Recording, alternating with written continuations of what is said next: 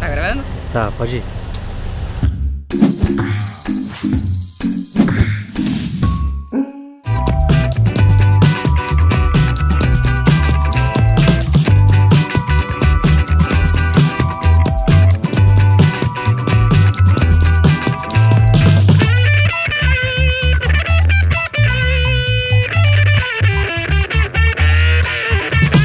A gente está aqui hoje em uma das casas de carne, das steakhouses americanas, que os brasileiros mais gostam e com razão, porque é muito gostoso.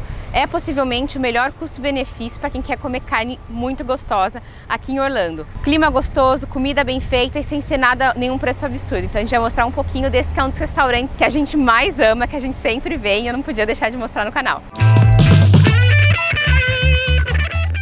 Como é que funciona aqui? Tem um cardápio bem extenso. Se você vier num horário de jantar, principalmente, pode ser que tenha uma filinha, então você dá o seu nome na recepção quando sua mesa estiver pronta, eles te trazem para dentro, você pode receber um pager para esperar que vai tremer quando tiver pronta sua mesa. E aí você vem pra cá, vai ter um cardápio bem extenso. Você escolhe entre os pratos de carne normalmente, mas você pode pedir outras coisas. Tem frango, tem peixe e sempre tem algumas entradinhas e, e acompanhamentos diferentes que ficam num menu à parte. Tem uma explicação dos cortes diferentes de carne que são um pouco diferentes do Brasil, por exemplo, e também dos pontos da carne, que já vem com um desenho, então é fácil você escolher. E a maioria dos pratos de carne já vem acompanhado de uma salada e de um acompanhamento. Embaixo tem a lista de acompanhamentos que você pode escolher. Se você não quiser salada, você pode pedir duplo acompanhamento. Eu sempre faço isso, porque eu gosto muito do purê de batata daqui. Parece uma, um acompanhamento super simples, mas é muito especial daqui. Hoje eu quis pedir a salada, você tem duas opções de salada e tem algumas saladas mais diferentonas, uma com morango e pecan, e tem uma outra também que eu não lembro com o que, que é, que são outro preço, então se você quiser você pode pedir para fazer upgrade para essas saladas e paga a diferença. Mas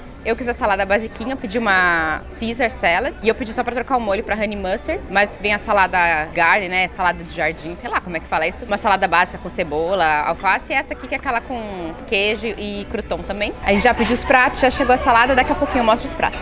Os pratos chegaram, todo mundo comeu super bem, super fartos como sempre. Purê de batata daqui é maravilhoso, mas a, a, o centro do restaurante mesmo é, são carnes, são maravilhosas, todas muito bem temperadas. Se você não gostar daquele tempero mais apimentado, você pede para vir com menos tempero, você fala que você quer Lion Season, eles fazem com menos tempero, mas estava muito bom, todo mundo comeu. E meu sogro pediu um prato diferente, o Ike, o Felipe e minha sogra pediram filé mignon, eu pedi um ribeye e meu sogro pediu camarão, que eu nunca tinha comido camarão aqui, eu, na verdade nem como camarão, né? Então óbvio que eu não comi, mas eu nunca tinha visto ninguém comer camarão aqui. Ele achou maravilhoso o prato, super fato. Na verdade era uma entrada que tem aqui que não tem sempre, é uma coisa meio da, da estação que eles fazem. Era um prato super gostoso, então sempre vale olhar aquele cardápio da estação. E falando de valores, a conta deu pra gente cerca de 25 dólares por pessoa já com gorjeta, que nem é tão mais caro do que um, fast food da Disney e muito mais gostoso. Se fosse 30, 32, eu ia achar que era justo também, porque eu comi realmente muito, muito bem. Sou fã do Longhorn, tem várias unidades em Orlando, então você pode ver qual que é mais perto, tem uma logo na saída da Disney, mas por ser tão gostosa, pode ser que você enfrente uma fila. O restaurante que a gente ama, a gente sempre vem